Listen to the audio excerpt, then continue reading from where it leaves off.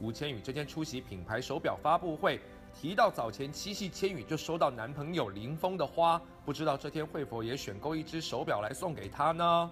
对对对对，有有有收到，我觉得最重要是心意了，也不是不需要什么礼物，因为已经都都已经很久了，然后呃有心意就好。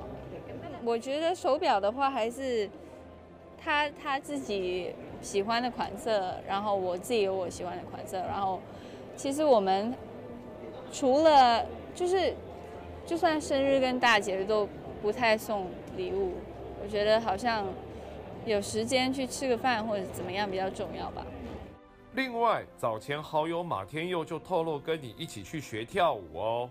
其实也没有在学，就是因为我的好朋友，呃，马天他整天就是他沉迷了跳舞大概一百多天吧，然后他每一个礼拜都会 upload 一些短片去那个在一些网络上面，所以我有跟他去过一两次，但是不算是真的在学跳舞，但是我有比较在最近夏天比较爱去滑水，对，然后就是。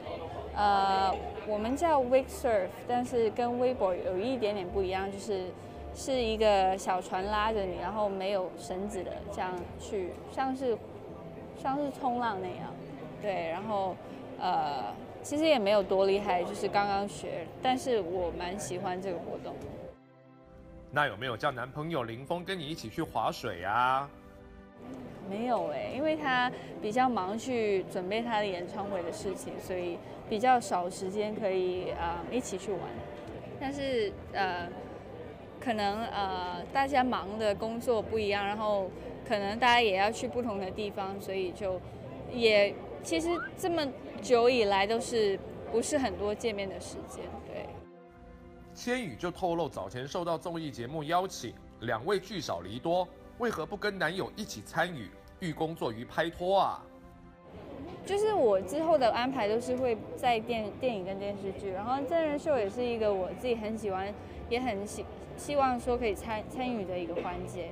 然后呃，但是可能两个人在一起就不一定。我觉得要看看节目的类型跟呃内容，我们有没有很合适。但是。就是找找我个人的话，我是没问题的。至于早前有指与林峰订婚，千羽也否认这个传闻。没有了，没有了，不可能。就是如果真的有打算跟计划，一定会，就是一定会讲。